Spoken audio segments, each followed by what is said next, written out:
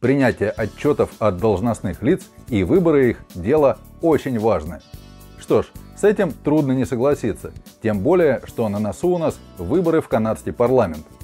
В преддверии этого события мы побеседовали с Гэри Глэдстоуном, кандидатом от либеральной партии по округу Торнхилл, где традиционно проживает большое количество русскоговорящих избирателей.